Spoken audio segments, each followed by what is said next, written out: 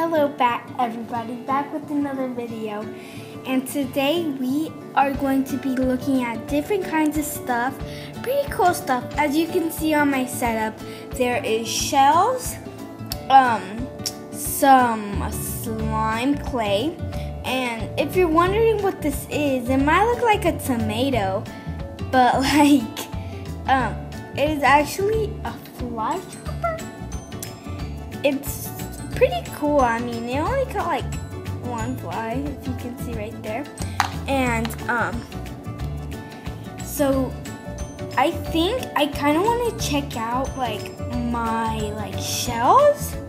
Like they're really cool and like not bad. I mean, I collected them. Like they have all types types of different features. Off camera, I have these. Um, these are really cool. I really like them.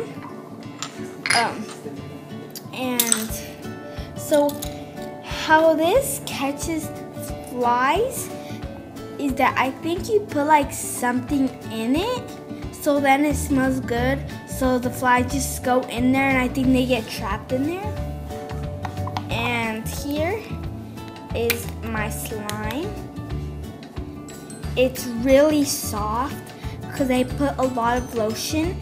Um, to make it really soft, you need to put lotion to make your slime soft. But yeah, if you don't put it, I mean, it is soft, but not as soft.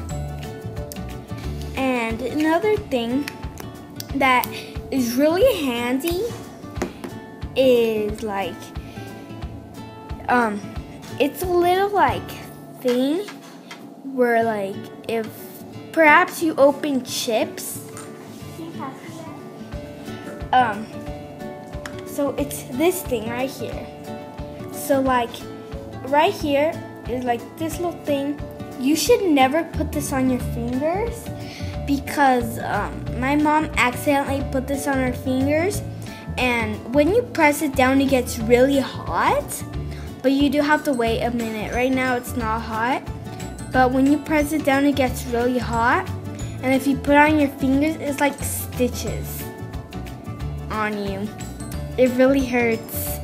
And um, it doesn't look like it hurts, but it really does.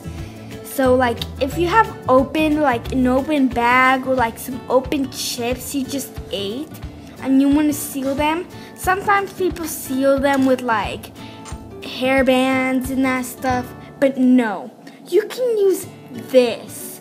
All you gotta do is click, swipe, and you're ready to go.